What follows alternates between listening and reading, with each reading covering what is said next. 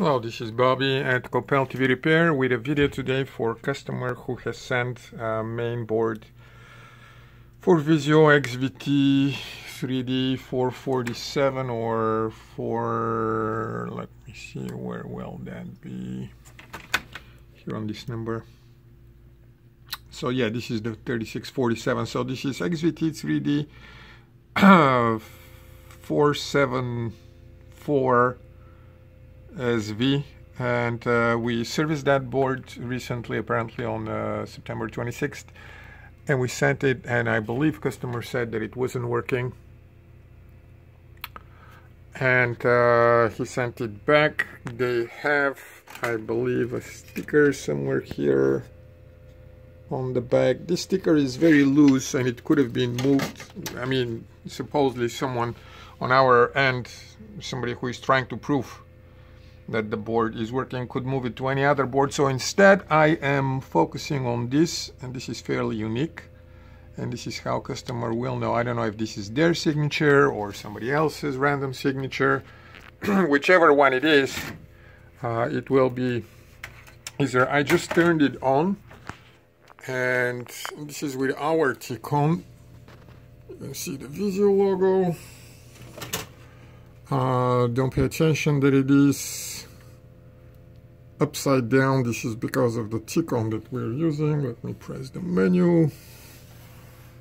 That should be the menu there. And again, I'm doing it slowly so that you can see.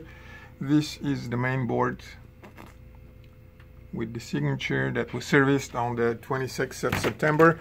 This is the customer's stick-on.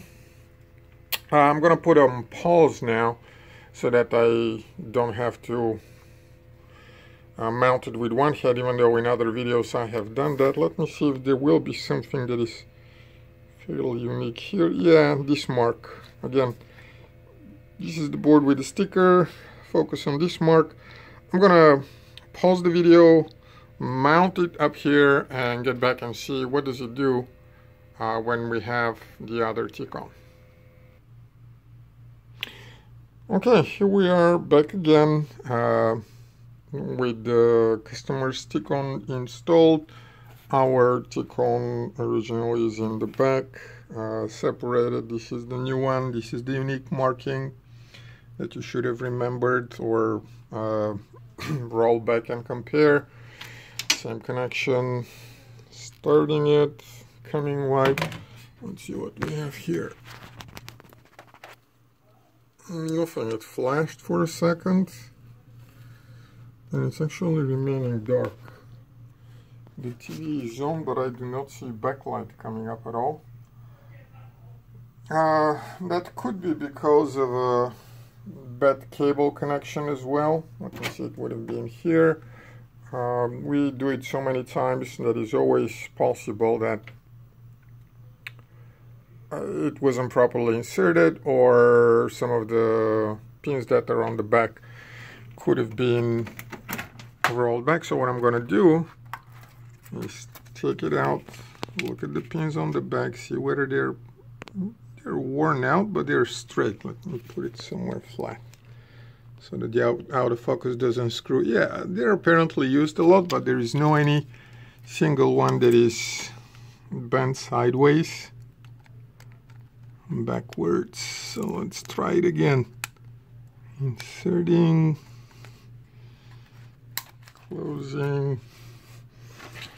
And we'll have to wait again for the whole thing to start. Just started, so initializing should begin shortly here. Start flashing.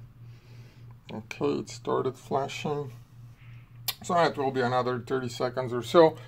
Uh, going for another try. Those do not matter. If they're improperly inserted, the backlight should still come up uh, or if the pins are screwed up, uh, the image could be screwed, but uh, at least I don't remember and don't think there is a case. Uh, maybe the power pins are separated enough from any other so that if this shorts, it still doesn't affect the T-Con starting. Okay, it finished initializing, so again, starting up and checking what's on the front. it still didn't start the backlight. To me, this is very clearly uh, bad T-Con board. So uh, we're gonna take it apart, see what we can do for it, and get back. Again, this video was only to prove that the main board that was sent to here is functioning. Oddly enough, I saw the backlights flash once uh, the first time, but it is what it is. Uh, everything so far points to here. That's all, and thank you very much.